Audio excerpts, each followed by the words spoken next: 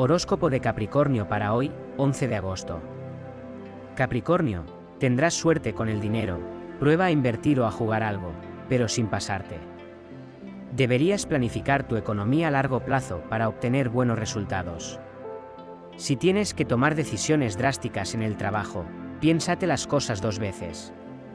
Te sentirás con más reconocimiento por tu trabajo de estos días, tendrás motivación. En temas de amor podrías iniciar una nueva relación o conocer gente nueva e interesante. La amistad es algo que debe ser cuidado, sal aunque no te apetezca mucho.